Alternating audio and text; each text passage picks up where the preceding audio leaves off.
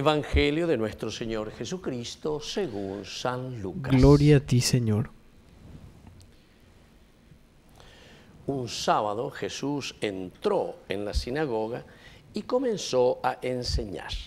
Había allí un hombre que tenía la mano derecha paralizada. Los escribas y los fariseos observaban atentamente a Jesús para ver si curaba en sábado, porque querían encontrar algo de qué acusarlo. Pero Jesús, conociendo sus intenciones, dijo al hombre que tenía la mano paralizada, levántate y quédate de pie delante de todos. Él se levantó y permaneció de pie.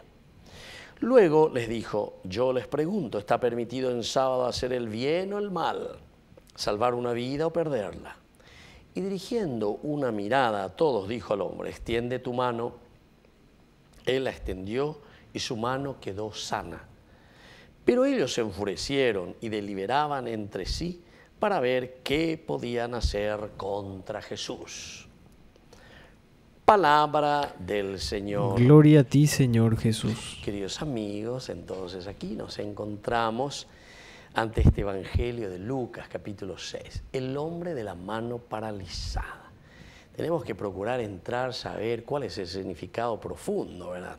Primero ya sabemos lo del sábado, Jesús siempre que contra todo aquello que es simplemente una tiranía, tiranía del pensamiento, de las reglas por las reglas, Jesús entonces, de cierta manera, con sus actitudes, está denunciando que no es ese el camino, el Shabbat, el sábado. Jesús entra, comienza a enseñar. Y es aquí donde se encuentra este hombre con la mano paralizada. ¿Qué quiere decir la mano paralizada? También en el libro de Samuel, primer libro de Samuel, encontramos, famoso, ¿verdad? El Dios. Eh, Dagón, que ante la presencia del arca dice que en dos oportunidades se cae. En la segunda oportunidad dice que paz y se rompe las manos. El Dios que se rompe, que queda sin manos. Ambaero voy a decir yo que bueno. Las manos, a ver un poco, piensen un poco, ustedes piensen sin mano. Piénsense ustedes sin mano. Va a bella boda. Diga, tú va a bella boda. Diga, tú, diga, tú ni es Caru, ni es Yahoo, ni es Joahei, va a ser formal allá lo que es la mano. Muchas veces nosotros no entendemos. La mano significa la mano creadora, la mano del artista, la mano del guitarrista, la mano de lo que sea, de la cocinera, la mano de nosotros, cada uno, pero esta es una maravilla de Dios, queridos amigos. Ni nosotros no lo pensamos siempre. Bueno, pero entonces el Evangelio sí que lo piensa y nos ayuda y nos invita a reflexionar. La mano. Vaya vaya puru beñan de po aye hamara vaya puru beñan de po. Porque ñan de puru era peana estaba en puru la po pinda po cane ya he oído po po po alleva entonces queridos amigos es importante reflexionar un poco hoy sobre la mano.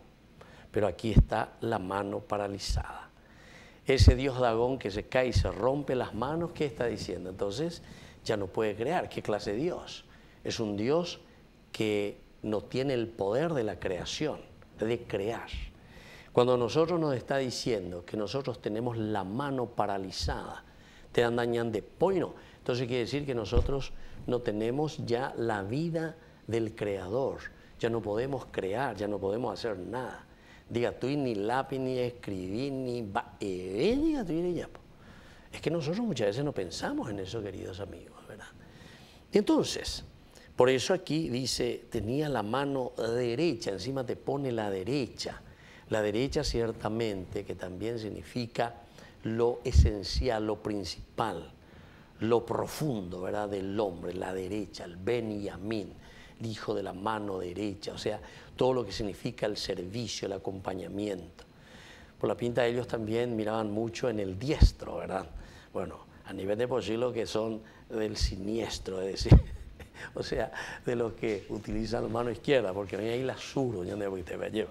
Bueno, y los escribas y los fariseos observaban atentamente. Ahora viene el accionar de Jesús. Esta es la situación.